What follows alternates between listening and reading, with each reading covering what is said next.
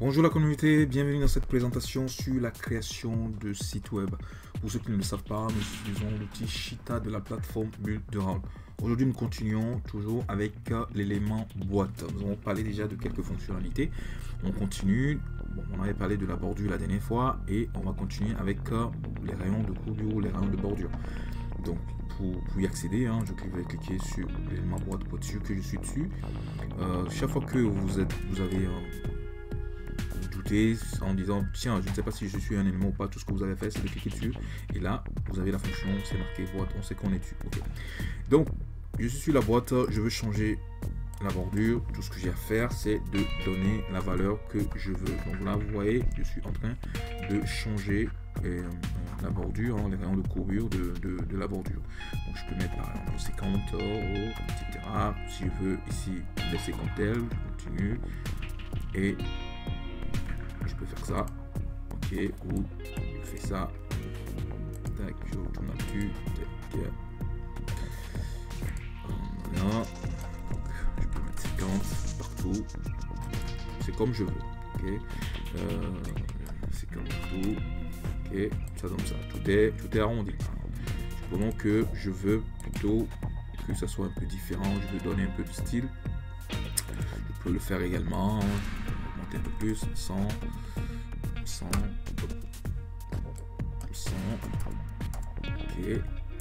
Ici par exemple on va dire que c'est 0 et ça aussi on va dire que c'est ça donc ça c'est des choses hein, c'est des choses que je peux faire. Je lui donne la forme que je veux. C'est à cela que sert le euh, les rayons de, de, la fonctionnalité rayon de bordure. Ok. Si on continue. On avait parlé la boîte sinon on va aller modifier autre chose je peux aussi donner un peu d'ombre à mon à ma boîte. Hein. Ok. Là. J'ai les curseurs. Tac. commence à les bouger. Vous voyez l'effet que ça fait. je décide de la façon dont ça va se présenter. là, on est, on est dans le bleu. Si je veux que ce soit du noir, je peux le faire. Je peux changer la couleur hein, de, de, de l'ombre. Euh, actuellement, on voit que c'est assez, euh, assez prononcé. Si je veux ajouter du flou, là, je le fais ça. Et la propagation, donc jusqu'où va aller le, le, flou, c'est ça. Donc je peux jouer avec ça pour créer l'effet que je désire. Supposons que je veux, par exemple, au lieu d'avoir le, euh, on va dire l'ombre à l'extérieur, je peux aussi l'avoir à l'intérieur, tout cela juste en cliquant sur, sur, en accrochant cette partie ombre intérieur. du coup, ça se retrouve à l'intérieur. Et pareil, je peux jouer là-dessus. Je, fais comme je fais comme je veux. Ok? Euh, si voilà, je, ne veux plus avoir de l'ombre, je peux effacer tout et ça redevient comme avant. Ça, c'est concernant euh, la fonctionnalité de l'ombre. La fonctionnalité parallaxe. Ok? Donc pour ce faire, hein, pour que ça soit euh, efficace hein, la présentation, je vais changer quelques éléments hein, au niveau de l'élément boîte qu'on avait déjà. On va enlever les rayons de courbure et on va mettre du 0 partout. Ok, donc on est bon. Pour que vous on puisse voir l'effet parallaxe, hein, euh, il faudrait une image hein, à, l'intérieur. donc pour cela, je vais, je vais rajouter, je retourne là-dessus. On est bien sur l'élément boîte. On va regarder l'arrière-plan de l'élément boîte. On va rajouter une image. Quelle image on va rajouter? Par exemple là, on va mettre ça. Ok, on met ça là-dessus. Et là, une fois que c'est fait, on va activer l'élément parallaxe. Bon, pour info, je passe rapidement. Hein.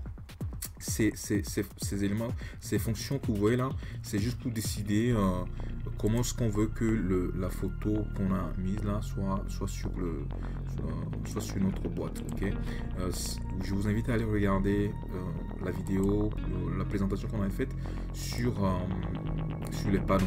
D'accord? Et vous en apprendrez plus parce qu'on en avait déjà parlé. Donc là, je continue hein, pour qu'on gagne du temps. Et pareil, hein, ici, l'élément fixe, on on peut laisser fixe, etc. Vous verrez ça dans, euh, la présentation sur euh, sur le panneau.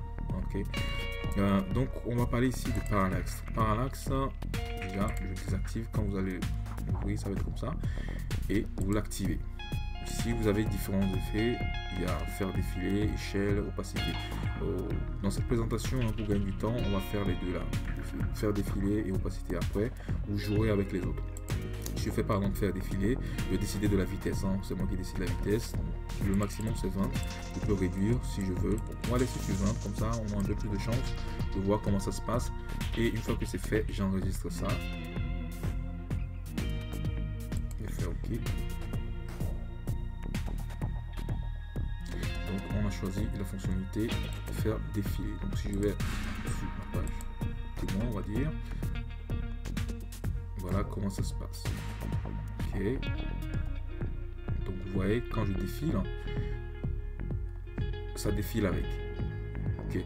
Bon, maintenant la photo, parce que j'avais joué un peu avec, euh, j'avais joué un peu avec ça, avec ça, je pense que pense que j'avais joué un peu avec ça et ça ne ça pas plu.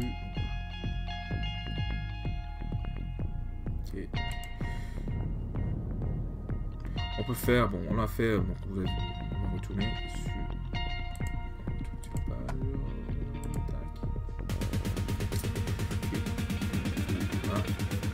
sur, la même chose, mais vous voyez l'idée, quand je défile, vous voyez que à l'intérieur ça défile. Pour la façon dont la photo se, présente au fait. Normalement c'est euh, c'est ici au fait que ça se, que ça se gère.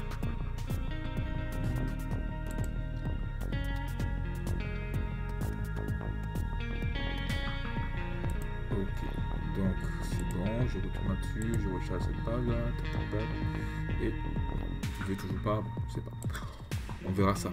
Donc il y a moyen hein, de, corriger cela, mais je ne vais pas, je vais pas euh, passer, euh, je vais pas passer du temps, trop de temps là-dessus.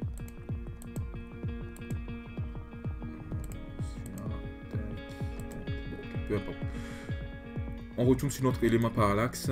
On a fait faire défiler. On peut faire aussi l'opacité. Donc je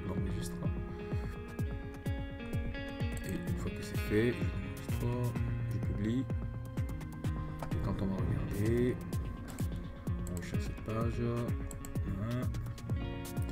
Quand on va regarder, cette fois-ci, vous voyez,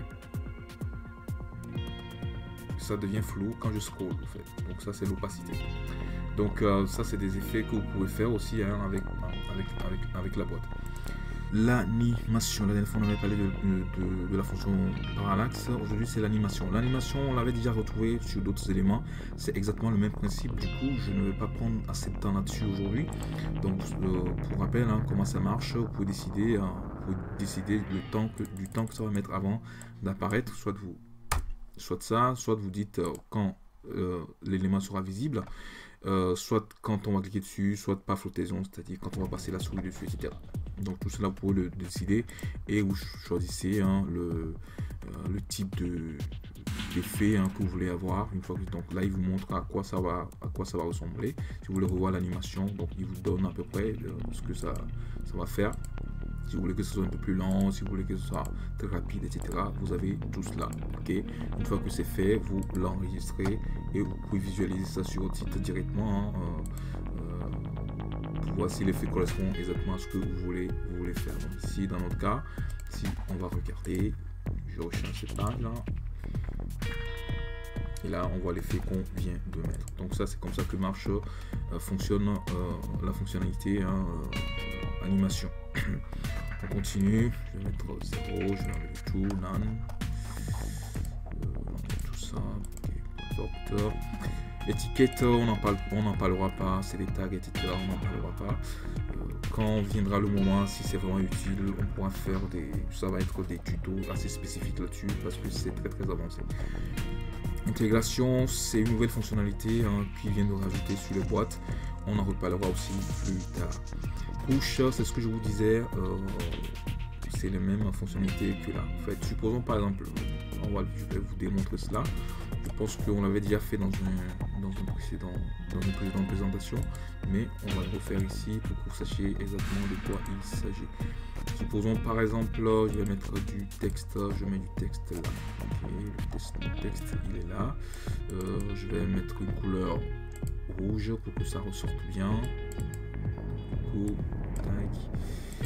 on a déjà fait une présentation sur euh, les textes aussi. Hein. donc si vous voulez savoir comment ça marche les textes, euh, je vous invite à aller regarder cela. Donc je l'enregistre. Actuellement, vous allez vous remarquer que le texte est au-dessus de la boîte. Supposons par exemple que je veux avoir plutôt la boîte au-dessus du texte. Je peux le faire, tout cela. Pour, ça, tout ce que j'ai à faire, je clique sur la boîte par exemple. Là, je clique sur le crayon. Et j'ai les fonctionnalités. Hein. Là, tac. Et je vais jouer sur l'élément couche. Et actuellement, c'est en dessous. Je veux que ça remonte. Et voilà. C'est ça en fait, la fonctionnalité et vice versa. Fonctionnalité avancée, donc ça c'est pour enregistrer l'élément, c'est pour enregistrer l'élément. Donc tout ce que tout ce qu'on vient de faire, il faut aussi penser à la version à la version euh, mobile. Je vais juste enregistrer ça Il faut aussi penser à la version mobile quand vous travaillez sur euh, votre site internet. Donc quand on va regarder la version mobile, à quoi ça ressemble? Quoi la boîte ressemble sur la version mobile? La boîte ressemble à, ça, d'accord, avec notre, euh, avec notre, euh, notre photo dedans, etc. Maintenant, qu'est-ce qu'on peut faire? On peut essayer de travailler, on va, on va travailler un peu sur cette, cette, cette boîte, sur la version mobile.